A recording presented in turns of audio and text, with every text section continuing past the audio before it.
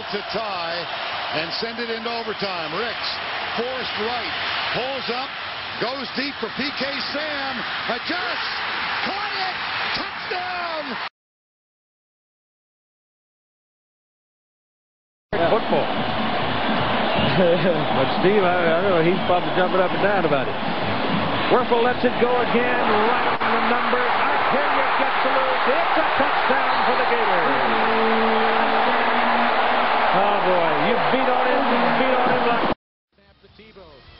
Rolling off to his right. Tebow's going to run it to the 25, to the 30, to the 35, and Tebow levels. Oh,